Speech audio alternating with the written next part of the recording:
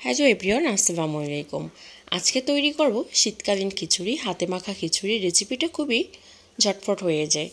শীতের দিনে রাতে কিংবা দুপুরে ঝটপট বানিয়ে ফেলা যায় এমন একটা সুস্বাদু খিচুড়ি। তো এটি বানানোর জন্য আমি কি কি ব্যবহার করেছি অবশ্যই আপনাদের সাথে শেয়ার করব। আমি এটাকে সম্পূর্ণ হাতে মেখে রান্না করব। রান্না করার জন্য এখানে আমি দুই কাপ পরিমাণ চাল নিয়েছি, এক কাপ পরিমাণ মসুর ডাল, আর হচ্ছে এক কাপ পরিমাণ মুগ ডাল। আমি যেই পরিমাণে চাল নিয়েছি, তার অর্ধেক অর্ধেক মুসুর ডাল, অর্ধেক হচ্ছে মুগ ডাল নিয়েছি। মুগ ডালটাকে কিন্তু আমি খুব সুন্দরভাবে ভেজে, তারপরে ভিজিয়ে রেখেছিলাম।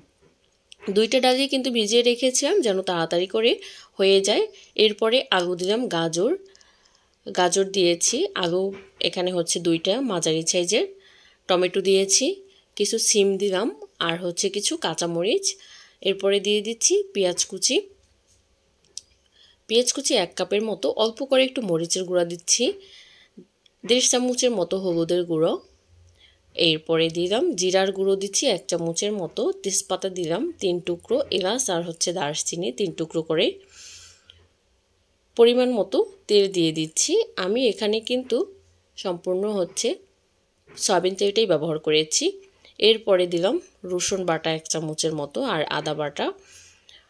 পরিমাণ মতো লবণ। এরপর এটাকে খুব ভালোভাবে হাত দিয়ে মিক্স করে দিতে হবে।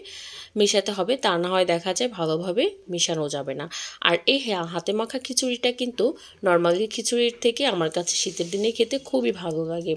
তো যেহেতু সামনে শীত চলে আসছে, তো সবাই চাইলে এরকম ঝটফট করে একটা খিচুড়ি বানিয়ে নিতে পারেন। এটা ছোট বড় সবাই খুবই পছন্দ করবে। ছোটরাও খেতে পারবে, বড়রাও খেতে পারবে। আর যেহেতু শীত আসতেছে, তো সবজির তো কোনো অভাবই হবে না একদম। খুবই ভালো সবজি পাওয়া যায় বাজারে শীতের দিনে। তো সবজি দিয়ে এরকম একটা খিচুড়ি রান্না করলে কিন্তু ভালোই হয়। এরপরে দিয়ে দিয়েছি আমি পরিমাণ মতো পানি। পানিটা দিয়ে একটু নেড়ে চেড়ে দিচ্ছি। দেওয়ার পরে আমি এখন চুলায় বসিয়ে দেবো। বসিয়ে দেওয়ার পরে ওয়েট করতেছি ব্লক আসা পর্যন্ত। ব্লক আসার পরে ঢাকনা দিয়ে এটাকে ঢেকে দেব। আর এই খিচুড়িটা রান্না করতে কিন্তু কোনো ঝামেলাও লাগে না, বেশি টাইমও লাগে না। একদম দেখা যায় সর্বোচ্চ দশ মিনিটের মধ্যে এরকম একটা খিচুড়ি রান্না করে নেওয়া যায়। আমি ঢাকনা দিয়ে কিন্তু ঢেকে দিচ্ছি ব্লক আসার পরে। এবার ঢাকনাটাকে উঠিয়ে নিলাম। আমি একদম খড়ি ধরে আট থেকে নয় মিনিটের মতো হবে।